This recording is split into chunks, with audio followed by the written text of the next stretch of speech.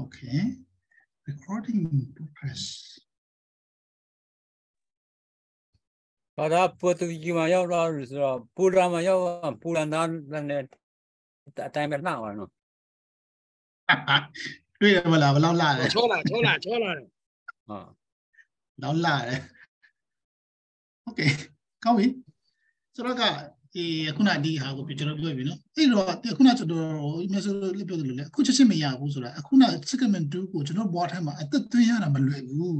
segment 2အချိန်ခါကျွန်တော်ဘွားမှာပုံခွန်ရတာမလွယ်ဘူးကျင့်ဆောင်ရတယ်ဆိုတော့လည်းကျွန်တော်သက်ဆုံးတယ်နော်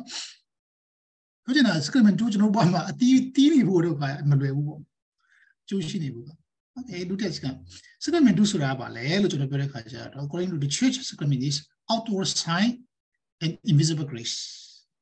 မြန်မာလိုကကျွန်တော်တို့ပြောတယ်အပေါ်ပြထင်ရှားအမှန်လက္ခဏာရှိပြီးမှမမြင်နိုင်ရကျေးဇူးတော်များကိုခံစားတယ်နှစ်ပိုင်းရှိတယ်။နောက်တစ်ပိုင်းက outward sign အပြင်မှာအပြင်မှာမြင်ရတာအပြင်မှာမြင်ရတိတာတဲ့လက္ခဏာလေးတွေရှိတယ်။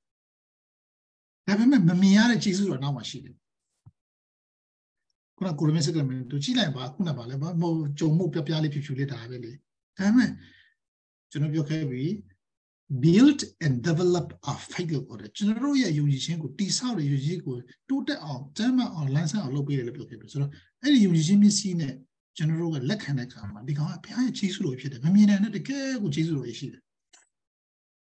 ဟောဟိုအလိုပေါ့ကျွန်တော်တို့စီးပွားရေးလောကမှာတွေပါအပြင်လောကမှာသူတို့သုံးတာရှိပါတယ်ဗါလဲဆိုတော့ ice bag ဆိုတာရှိတယ်လေရေခဲတုံးကြီးဆိုတာရှိတယ်ပင်လယ်ကြီးပင်လယ်ပြင်မှာမျောနေရေခဲတုံးရှိတယ်ရေခဲတော့ပေါ်လာအထိတ်လေးပဲပေါ်တယ်လေ ဒါပေမဲ့အောက်မှာဒူးကြီးကြီးပဲမြင်ရလားမမြင်ရဘူးဒါပေမဲ့ခံမလို့ရတယ်အဲ့ဒီ ice bag ကြီးကအောက်မှာဒူးကြီးပဲရေပြင်ပေါ်မှာပေါ်လာတတိလေးနော်ဟိုမှာလက္ခဏာမြင်ရတယ်ဗောနော်ဒါပေမဲ့မမြင်နိုင်ကြီးစိုးတယ်အများကြီးရှိတယ်သူတပြည့် each sacrament is visible and tangible တကယ်အမှန်တကယ်လည်းဟုတ်တယ်နောက်တစ်ခုကျတော့ use sign symbol and ritual ကျွန်တော်တို့ sacrament ကိုကျွန်တော်တို့ဘယ်လိုအပေါ်ပြင်သင်ရှားအမှတ်လက္ခဏာဘာတွေတွေ့ရတယ်လဲဆိုတော့ကျွန်တော်တို့ signs တွေ symbols တွေလက္ခဏာတွေရှိတယ်တင်ဂီတာတွေရှိတယ်နောက်တစ်ခုကျတော့ ritual ritual ဆိုတော့ဝတ်နည်း performance လုပ်ရတယ်ဟိုခုလာလိမ့်မယ်နော်ဆေးရချင်းမှာဆိုတော့ရေတွေပါတုံးရတယ်ကွာပြီးတော့က ဟမ်ဟိုလေဖျောင်းတဲ့နေတုံးရတယ်ကွာပြီးတော့ကဟိုကိုရမစ်စကမန်တူမှာဆိုရင်ခမျိုးတော့တောက်တော့စရတယ်ကွာပြီးတော့ကဟိုကျန်းစာတွေဖတ်ရတယ် symbol ritual တွေပြီးတော့ကဟိုကလေးခွမြောက်တာတွေရောဒူးထောက်တာတွေရောအမျိုးမျိုးပဲနစ်တာတွေရောအဲ့ဒါအများကြီးပဲအဲ့ဒါမြင်နေရတယ်ကွာမြင်နေရတယ်ဒါပေမဲ့မမြင်တဲ့နောက်ကဘာတွေဖြစ်တယ်လဲဆိုတော့ the something keeps directly from God ဒီမမြင်နောက်ကွယ်မှာဘုရားသခင်စီကယေရှုကိုဒါလိုက်ရတယ်နောက်တစ်ခုနောက်တစ်ခုကျတော့ grace a gift from God that help us participate in the relationship with him ဘုရားသခင်နဲ့သူနဲ့ဆက်သွယ်လို့ရတဲ့တင်ကြီးတာတစ်ခုဖြစ်တယ်ဘုရားသခင်နဲ့ဆက်သွယ်လို့ရအောင်ကူညီပေးတဲ့အခြေအနေတစ်ခုလည်းဖြစ်တယ်လက်ဆောင်လည်းဖြစ်တယ် grace ကျေးဇူးတော်လည်းဖြစ်တယ်လို့ပြောထားတာနော်နောက်တစ်ခုစကရမတုဆိုတာကတဲ့ခရစ်တော်ကတည်ထောင်ထားတယ်ပြီးတော့က entrusted အသင်းတော်ကိုယုံကြည်ပြီးမှဆက်လုပ်ပါလို့ပေးထားတဲ့အရာဖြစ်တယ်လို့ပြောထားတာအဲ့ဒါကြောင့်အသင်းတော်ဒီခုနှစ်ခုကိုသူကဒီခုနှစ်ခုကသူ့အတူကြိုက်တယ်လို့လုပ်တာမဟုတ်ဘူးနော်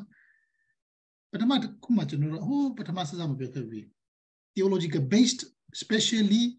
on new testament လို့ပြောတယ်နော်ဓမ္မသစ်မှာလုံးဝကိုအခြေခံထားတယ်သူတပြေတဲ့ဆိုတော့ဓမ္မသစ်မှာဘုရားသခင်လှုပ်ဆောင်ချက်အားလုံးဒီ sacrament လို့ကျွန်တော်ပြောခဲ့ပြီဘုရားသခင်ကသက်ရှူတန်းကခရစ်တော်ဘုရားရဲ့ခြေလမ်းတန်းက sacrament လို့ဖြစ်တယ်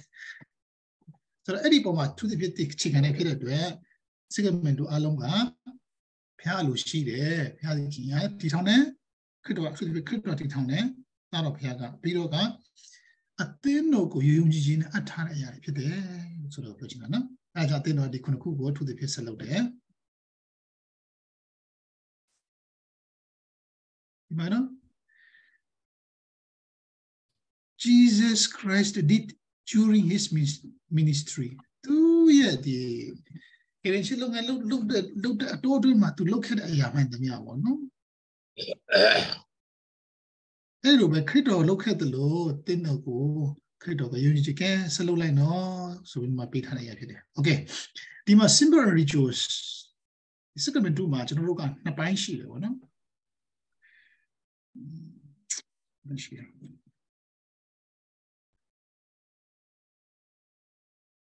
မမြင်နိုင်ရနဲ့မြင်နိုင်ရရှိတယ်။ဒါပေမဲ့အခုမြင်နိုင်ရနေရာမှာကျွန်တော်တို့နှစ်ပိုင်းထက်ခွဲတယ်။အဲ့ဒါကဘာလဲဆိုတော့ symbol တင်ဂီတများတင်ဂီတတွေကဘာကိုကျွန်တော်တို့ပြောနေတယ်လဲဆိုတော့ some symbols are obvious တချို့ဟာတွေကတော့တိတိကျကျသင်ရှားကျွန်တော်မြင်ရတယ်ဥပမာကျွန်တော်ကြည့်မယ်ဆိုရင်ခုနပြောသလိုရေစေရောချင်းမှာကိုရမစကနဲ့ဘူတူမှာဆိုပါလဲပေါင်မုတ်စပီရေ ပြီးတော့ကဟိုပရိဒေါစီတို့ဘာတို့မှာဆိုရင်တိခါတင်တဲ့ခါမှာဆိုရင်စီနော် some are less obvious ချို့ကကျတော့ကျွန်တော်သိမမြင်ရဘူးတဲ့ဟိုတိတာထင်ရှားမှုမရှိဘူးဘာလဲဆိုရင် what are symbols used in reconciliation ကဲဟုတ်ပြီအဝဖြေတဲ့ခါမှာလေမမြင်ရဘူးကွာဒါမှစကလုံးတော့ရှိတယ်အဲကျွန်တော်ဝမ်းနေပါတယ်အဘဖြေရတယ် gesture လို့ခေါ်တဲ့အပြုတ်မှုပုံတရံတော့ရှိတယ်တွားတူထားရတယ်ခင်ဗျာတော်တော်ဒါပေမဲ့ အတုံးဆောင်မရှိဘူး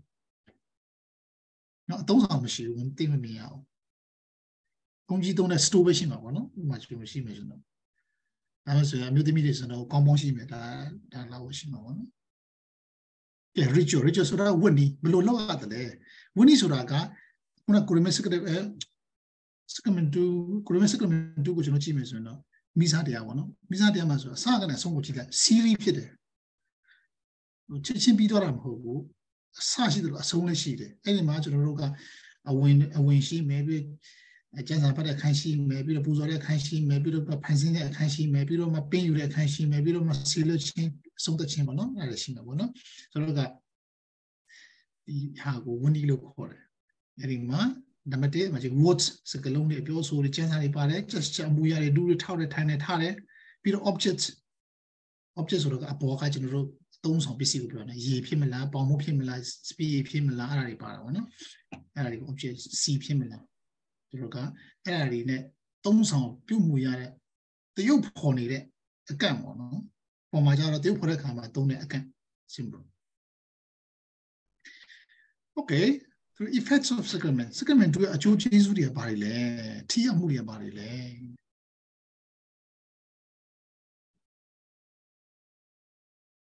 ဥပမာကြည့်အောင်တဲ့ဒီစေကြောချင်း sacrament တို့မှာဆိုရင်တဲ့နှစ်ချင်းခံတဲ့ဟာပေါ့နော်နှစ်ချင်းခံတဲ့စေချင်းခံတဲ့ရေဖြန့်ချင်းခံရတာပေါ့နော်ဒါမှတော့အဲ့မှာအဓိကကတော့ main effect is initiation to church ဒီဟာကတဲ့ဘုရားသခင်ကလို့ရှိတဲ့အသင်းတော်ရဲ့ territory ထဲကိုမိတ်ဆက်ဝင်ရောက်ရှင်းပေါ့နော်ဘယ်လိုပြောရမလဲဆိုတော့ဥပမာဆိုရင်အ ဖွဲဝင်အသစ်မှာခုဒီညနေဆရာကျိုးစဲဝင်လာဦးကမိတ်ဆက်ပေးတယ်ဒီညအတန်းမှာကျောင်းသားအသစ်နှစ်ယောက်ရှိမယ်နော်ဒီကျောင်းသားအသစ်နှစ်ယောက်ကဒီနေ့ကစပြီးတော့ကျွန်တော်တို့ရဲ့ကျောင်းသားဒီဖြစ်ပါပြီသူမိတ်ဆက်ပေးတယ်အဲ့ဒါပဲအဲ့ပထမတစ်ချက်ပထမတစ်ချက်ကကျေးဇူးတော်စီးစင်းရနေရာနဲ့သူမိတ်ဆက်ပေးတယ်ဘုရားကျူစဝင်လာပြောတယ်လို့ပေါ့ အဲ့ဒီ gate ကိုဖြစ်တန်းရတာပေါ့နော်အင်းတင်းကိုဝင်မယ်ဆိုသူတို့ gate တကားကိုဖြစ်ရတယ်အဲ့ဒီ gate gate တကားကိုဖိုက်က baptism ဖြစ်တယ်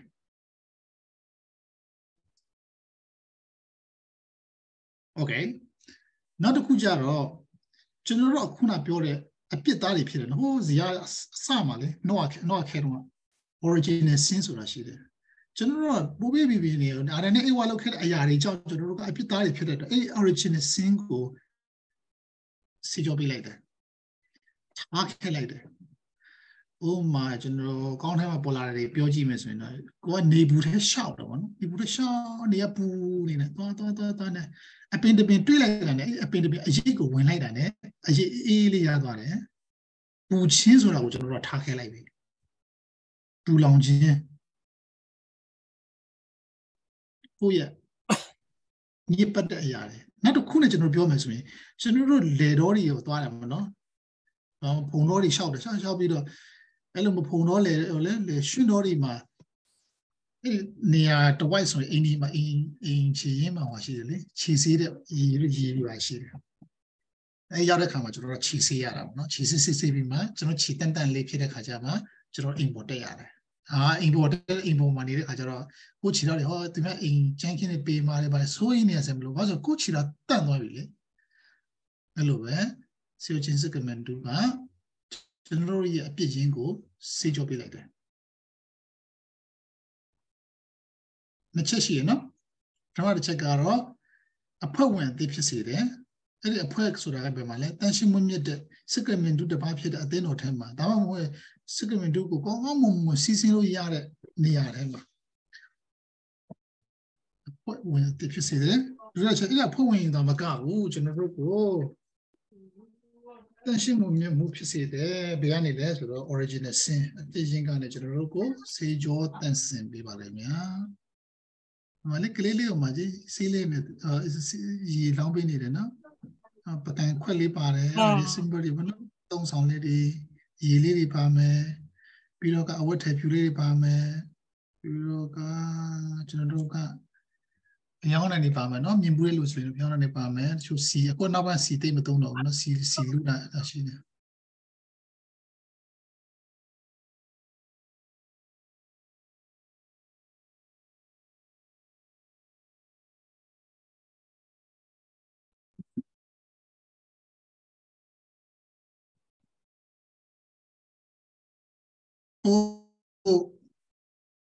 ကဲလာပြီဒီမှာတော့ခုဘွေးရတေချာကူထားနော်ဟုတ်ကဲ့အဲဟုတ်ကဲ့နော်ဒီသုံးခုကိုကျွန်တော်တို့ကအဲသုံးခုဖြစ်ကုန်ပြီဒီခုနှစ်ခုကိုသုံးပိုင်းပိုင်းလို့ရတယ်နော်သုံးပိုင်းပိုင်းလို့ရတယ်သုံးပိုင်းပိုင်းမယ်ဆိုတော့ဒီကောင်ကိုသုံးပိုင်းကိုပထမတစ်ပိုင်းမှာသုံးခုရှိတယ်နောက်နှစ်ပိုင်းကနှစ်ခုစီရှိတယ် အဲနံပါတ်1ကျွန်တော်ပြောကြည့်မယ် baptism လို့ခေါ်တဲ့ဆေးကြောခြင်းနံပါတ်2 confirmation လို့ခေါ်တဲ့ chrismal page ဒုတိယ eucharist premier sacrament တို့စလုပ်ထားကြတော့ reconciliation ဒါမှမဟုတ် penance လို့ခေါ်တဲ့အပြစ်နောင်တယူခြင်း sacrament တို့နော်အဘဖြစ်ခြင်းပေါ့နော်ကျွန်တော်တို့တိုက်ရိုက်ပြောမယ်ဆိုတော့ကိုယ့်အပြစ်ကိုဖြေတဲ့ sacrament တို့နောက်တစ်ခုကျတော့ anointing of the sick လူနာကိုစီလူပတ်သားပေးခြင်းနော် pray to စီချမ်းမှချင်းစီပေါ့နော်ထားပါတော့ အဲ့ဒါကနံပါတ်5နံပါတ်6ကျတော့ matrimony or marriage လက်ထပ်ထိမ်းမြတ်ခြင်း sacrament 2နောက်ဆုံးကကျတော့ holy order လို့ခေါ်တဲ့ဒီယဟန်တိခါတင်ခြင်း sacrament 2ပေါ့နော်ဆိုတော့ဒီခုနှစ်ခုကိုကျွန်တော်တို့သုံးပိုင်းခွဲမယ်ဓမ္မပိုင်းမှာသုံးခုကျတော့စေကြောချင်း confirmation and eucharist ဆိုတော့အဲ့ဒါကိုကျွန်တော်တို့ကဘယ်လိုခေါ်တယ်လဲဆိုတော့အာရေးပြမယ်ဆိုရင်မိတ်ဆက်ကန္တာလို့ခေါ်တယ်နော်ကျွန်တော်တို့ကို အဖွဲ့ဝင်ဖြစ်စေတဲ့မိတ်ဆက်တဲ့ကဏ္ဍအတိမတ်ပြုတဲ့အဲ့လိုရိုးရိုးပြော community မှာဆို registration ပေါ့နော်ကျွန်တော်တို့ကအာ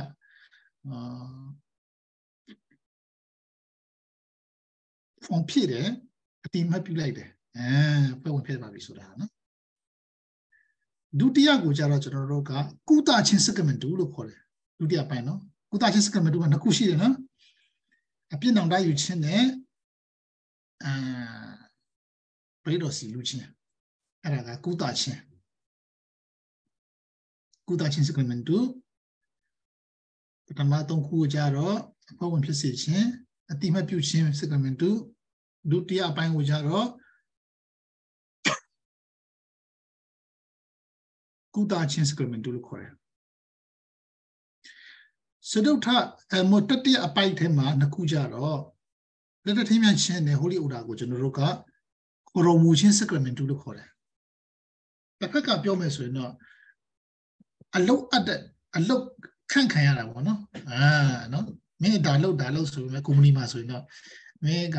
HR မှာလုတ်မင်းက finance မှာလုတ်ဆိုတော့ပြန်မှာကျွန်တော်တို့အလုတ်ပေးလိုက်တာအဲ့ဒီကစပြီးတော့တချို့ကဖုန်းကြီးဖြစ်သွားတယ်တချို့ကလက်ထပ်ပြီးမှတာသမီတွေမွေးတယ်အဲ့လိုပဲကျွန်တော်က၃ပိုင်းကျွန်တော်တို့ကတွေ့ရတယ်နော် sacrament 2ကိုဘယ်နှပိုင်းပိုင်းလို့ရသလဲဆိုရင်၃ပိုင်းပိုင်းလို့ရတယ်ပထမပိုင်းကိုဘယ်လိုခေါ်သလဲမိစ္ဆအတိမတ်လက်ခံခြင်း sacrament 2ပိုင်းဒုတိယကိုကြတော့ကျွန်တော်တို့ကုသခြင်းအပိုင်းလို့ကျွန်တော်တို့ခေါ်တယ်တတိယပိုင်းကိုကြတော့ကျွန်တော်တို့ကခေါ်ရမှုခြင်းဒါမှမဟုတ်အလောက်ခံတဲ့ sacrament 2လို့ပြောလို့ရနော်ခေါ်ရမှုခြင်း sacrament 2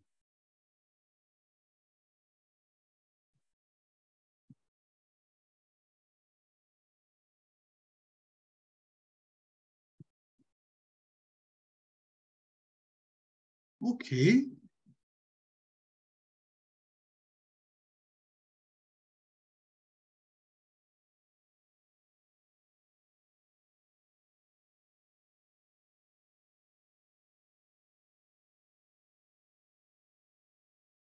Si bien, no, la imagen lo he hecho, no, ni en el pio, ¿no? So, the initiation, so that, eh, yo creo que a mí se canta, a ti me pio, chen le canchen. မပြုခြင်းလက်ခံခြင်းမှာပထမတစ်ခုကကြတော့ baptism မကလေးလေးကိုမှဆေးရှင်ပေးနေတယ်ဒုတိယတစ်ခုကကြတော့ Corymus sacrament ယူတဲ့မနေ့ပထမကျွန်တော်တို့မြန်မာပြည်မှာဆိုပထမ Corymus ယူတယ်လို့ပြောရနော် first communion နော်အဲ့ဒါကိုကျွန်တော်တို့ကဟောလို့ဆိုတော့9နှစ်9နှစ်ဝင်ကျင်နဲ့စပေးပြီနော်ရှင်းနေ9နှစ်ဆိုတော့သူတို့ပေးတချို့တွေကတော့ဒါပေမဲ့အာမတူကြဘူးပေါ့သူကတော့စင်းချင်းစဉ်းစားတွေ့ခေါ်မှုနဲ့တည်ငြိမ်ပြီပေါ့နော် ပိုင်းခြားနိုင်တဲ့အဆင့်ကိုကျွန်တော်တို့ပေးတယ်ပေါ့နော်အဲခုကြတော့ဒီဘက်မှာဒီမှာသင်္ကန်းနေနေတဲ့ဆရာတော်ကြီးကအဲစမာပိချင်းစီလို့ပေးတယ်ပေါ့နော်ဒီမှာနော်ဒုတိယအကြောင်းလေးမှာကြည့်လိုက်နော် full full members of the church community လို့ပြောထားတယ်လားဆိုတော့အဲ့ဒီကောင်ကဘာပြောလဲကျွန်တော်ဒီသုံးခုစလုံးက ကျွန်တော်တို့ကိုတကယ့်ကိုလည်းပြေဝဆုံနေတဲ့အဖွဲ့ဝင်ဖြစ်စေတာပထမတစ်ခုတော့မပြည့်စုံသေးဘူးအဖွဲ့ဝင်တော့ဟုတ်တော့ဟုတ်တယ်ဒါပေမဲ့ဒုတိယတစ်ခုမှလည်းမပြည့်စုံသေးဘူးသုံးခုစလုံးကျွန်တော်ခံယူတဲ့အခါမှာကျွန်တော်တို့ကဒီမိသားစုဖြစ်သွားပြီပြီးတော့ဒီအဖွဲ့ဝင်ဖြစ်သွားပြီလုံးဝအဲ့ဒါပြောတယ်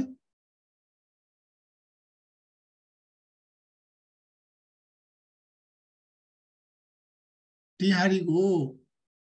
တချို့ ငကိုတော့နော်ငကိုတော့ကသုံးခုစလုံးကိုလူတယောက်ကိုတစ်ခါတည်းပေးတယ်နော်ငကိုတော့တစ်ခါတည်းပေးတယ်ဒါကိုအခုကတည်းကဒီ western ဒါမှမဟုတ် latin right ငါတို့ RC ပေါ့လေမဆိုကြည့်ကကျွန်တော်တို့ဒါခွဲပလိုက်ပြီဒါပေမဲ့ eastern မှာဆိုရင်အခုထိပေးတယ်သုံးခုစလုံးပေးတယ် ecclesiology ကိုသင်တဲ့အခါမှာလေကျွန်တော်အများကြီးအတင်းတော်ပွဲတွေလေ RC ကတလစ်အောက်မှာအများကြီးရှိတယ်အဲ့ဒါတချို့အရှိအရှိတန်းတွေအနောက်တန်းတွေတော့အများကြီးရှိသေးတယ်နောက်တန်းတော့တချို့ကပေးတယ်မပေးဘူးဆိုတော့ဒါပေမဲ့ဒီမှာ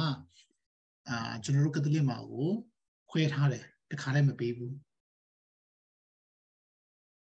ကလေးဆေးကြောချင်းဆိုရင်ပေါ့လေနောက်တစ်ခုကျတော့အာလူကြီးဖြစ်မှဝင်တဲ့လူဆိုရင်တခါလည်းပေးတယ်သုံးခုစလုံး